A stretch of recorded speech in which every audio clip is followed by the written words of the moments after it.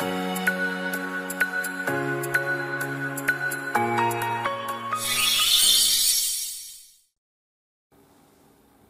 い、こんにちは、レトスノーです。今回なんですけども、代理人と本人との利益相反、民法108条の2項の内容について解説させていただきます。これはですね、まあ、そのまま覚えていただいても、まあ、いいかなと思います。一応具体例出すんですけども、具体例の内容が判例の内容で、ちょっとややこしいんですよ。なので、条文の内容をそのまま頭に入れる形でも問題ありません。で、内容的には、自己契約とか双方代理、まあ、前回の動画でお伝えをした自己契約双方代理と、まあ、よく似てるんで、まあ、一緒に覚えていただいて問題ないです。で、一応条文ですね、確認しておきます。代理人と本人との利益が相反する行為については、代理人を有しない者がした行為とみなす。ただし、本人があらかじめ許諾した行為についてはこの限りではない。っていうふうに条文で規定されているんですね。つまり、代理人と本人との利益が相反する行為については、無権代理として扱いますよ。まあ、ただし、まあ、本人があらかじめ許諾した行為については、まあ、これは無権代理として扱うんじゃなくて、ま、契約は有効だよと。ま、代理行為は有効になりますよと、まあ、いった内容です。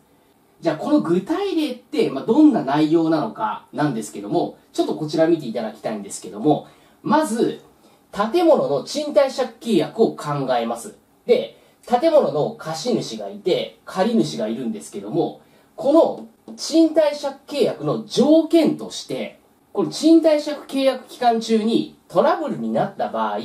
貸主が借主の代理人を選任できるっていう委任状を提供してくれと。これを提供してくれるなら賃貸借契約を結びますよ。ということで、賃貸借契約を結んだ時に委任状を渡しているんですね。なので、その後何かしらトラブルになった場合は、貸主が借主の代理人を選ぶことができる。つまり、借主側の弁護士というものを貸主が選ぶことができるっていうふうなルールにしているんですね。これどういうことかというと、トラブルになった場合、これ貸主が相当有利な裁判になっちゃうよって話なんですよ。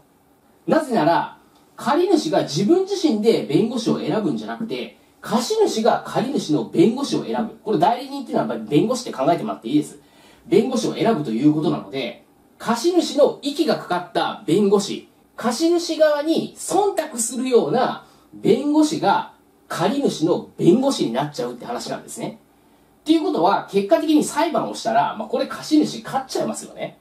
まあ、貸主はまた別の代理人を選任すると思います。で、そうなってくると、貸主の弁護士も、借主の弁護士も、どっちも貸主を弁護しちゃうって話になっちゃうんですよ。結果的に借主にとっては、不利益になっちゃうわけですよね。つまり、この代理権を与えることによって、代理人と本人との利益が相反しちゃうって話なんです。貸主にとっては利益になって、一方で借主にとっては不利益になっちゃいますよね。つまり、この借主と貸主の間の契約っていうのは、これは無権代理になっちゃうよ、といった内容です。まあ、この事例やや難しいんですけども、頭に入れることができるようでしたら、頭に入れていただければと思います。まずはこの条文の内容ですね。利益相反行為については、まあ、原則無権代理として扱うんだってところを頭に入れていただければと思います。今日も最後まで動画をご覧いただきましてありがとうございました。宅建合格目指して一緒に頑張っていきましょう。